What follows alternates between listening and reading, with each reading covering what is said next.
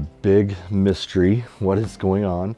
We have, you know, back in 2005 is when we moved over here from the Forum Plaza.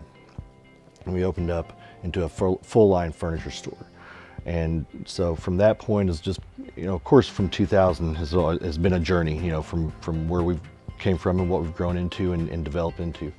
But when we purchased this building, we, uh, of course, started with a remodel that started about three years ago. We've ripped out all of the carpet, we've ripped out all the walls, we've ripped out everything. We've done a lot of work to, again, provide a nice showroom, a presentation so you can come in and see the furniture and that type of thing. But back to your question. Upstairs, what we're doing is it's going to be called the loft. So downstairs is the bargain basement. This floor covers the kind of the variety of all the different styles of sofas and chairs and that type of thing. Of course, our Sleepy's mattress gallery.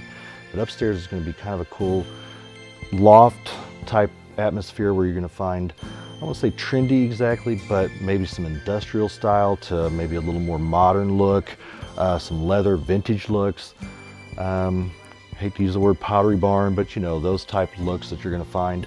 And again, just some really cool, I feel, looks that you're not going to find everywhere, we'll say.